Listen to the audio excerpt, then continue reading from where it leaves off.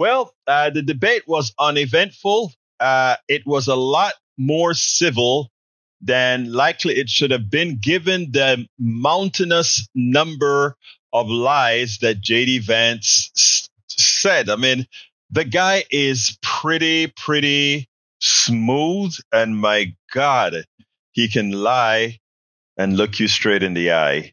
But you know, the one thing that stood out in that debate was when Tim Walz asked JD Vance the most important question with regards to the election.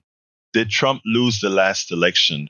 And JD Vance proved that he's a pansy like all the other MAGA folks that are completely, completely fearful of Donald Trump, that they cannot tell the truth that Donald Trump doesn't want them to tell. Listen to this and we'll take it on the other side. He is still saying he didn't lose the election. I would just ask that. Did he lose the 2020 election? Tim, I'm focused on the future. Did Kamala Harris censor Americans from speaking their mind in the wake of the 2020 COVID situation? That is Has a damning. to, that is a damning non-answer. Has she? It's a damning non-answer for you to not talk about censorship. Obviously, Donald Trump and I think that there were problems in 2020. We've talked about it. I'm happy to talk about it further. Senator, the governor does have the floor for one minute to Please. respond to you. Yeah. Well, I don't run Facebook. What I do know is, is I see a candidate out there who refused, and now again, and this I'm pretty shocked by this. He lost the election. This is not a debate. It's not. It, it, it's not anything anywhere other than in Donald Trump's world. Because look, when Mike Pence made that decision to certify that election, that's why Mike Pence isn't on this stage. What I'm concerned about is where is the firewall with Donald Trump?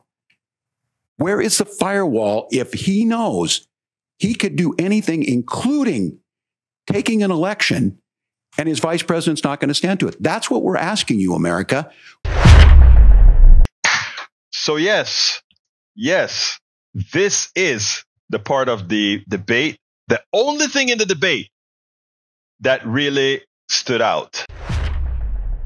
we spend a lot of time deconstructing the news, trying to trying to parse it into a form that everybody can understand. We try to find those little nitpicks where uh, it goes, it flies above the fray, etc. If you really like these videos that we do, I want to ask a big favor. Please go ahead. Number one, subscribe to our channel, and number two, please join if you can. Thank you so kindly for watching. Keep watching. Please remember to share. We must populate the entire internet with our progressive message, a message that we know is what most Americans say that they want. So help us, please join.